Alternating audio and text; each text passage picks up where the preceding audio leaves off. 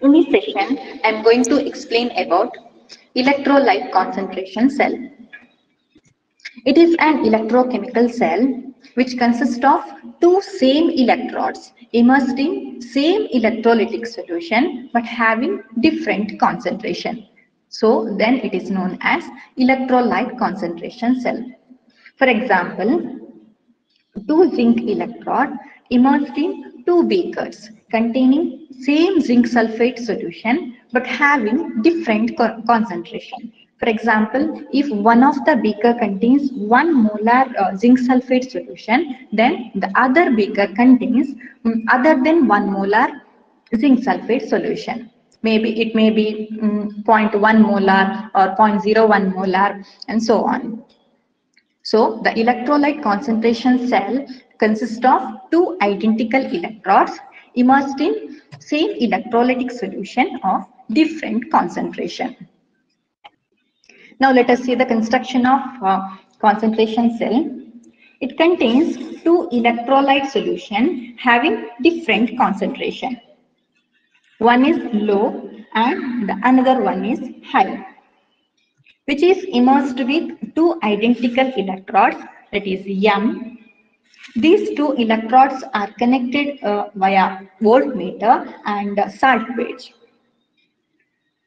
Here, the electrode with the lower concentration act as anode because in the uh, dilute solution, metal dissolution will be easier and hence the metal rod M will dissolve in the solution by giving electrons. That is nothing but the oxidation. And the electrode with the higher concentration of the electrolyte act as cathode because at higher concentration, the precipitation will be easier. Hence, the metal ions present in the solution will take the electrons and uh, reduce to metal form. Hence, uh, reduction will takes place. Now, let us see the cell representation. Here, the metal with lower concentration of the electrolyte, that is C1, uh, should be written in the left-hand side and the electrode with the higher concentration that is C2 should be written in the uh, right hand side. This is the cell representation of this concentration cell. Now let us see the cell reactions. At anode, the removal of electron will takes place. That means the oxidation will takes place at anode.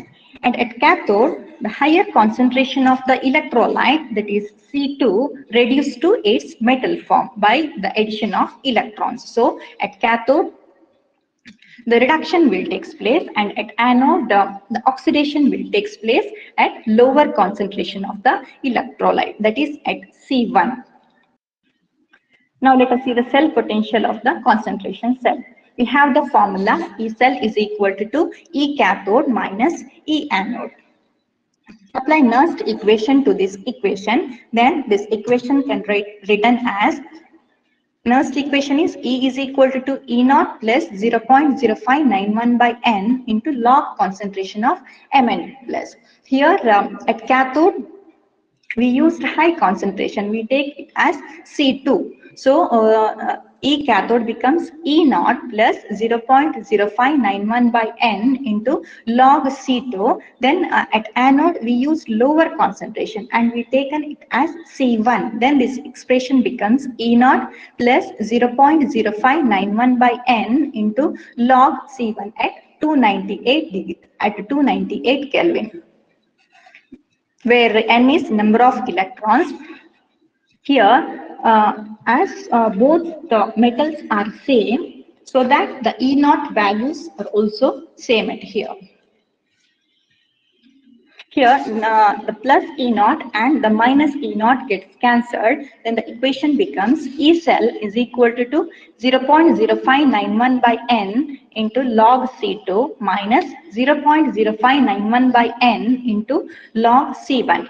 Here 0.0591 by n is common. Take it outside. Then log C2 minus log C1. Log x minus log y is nothing but log x by y. So log C2 minus log C1 is nothing but log C2 by C1.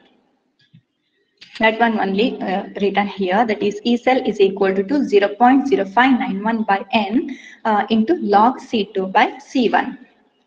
C1 is C2 is uh, high concentration that is at cathode and C1 is low concentration that is at anode. So we can also write this expression as E cell is equal to, to 0.0591 by N into log concentration of cathode divided by concentration of anode at 298 Kelvin.